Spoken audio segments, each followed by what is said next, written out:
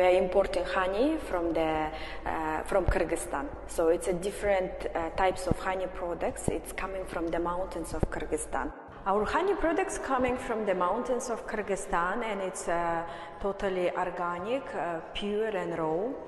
We have different types of honey. One of the best sellers is a white honey, buckwheat honey, uh, floral mountain honey.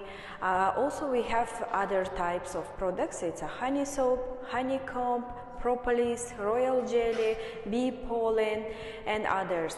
All of those is very beneficial for the health of the people. It can make immune system strong. It can improve your digestion.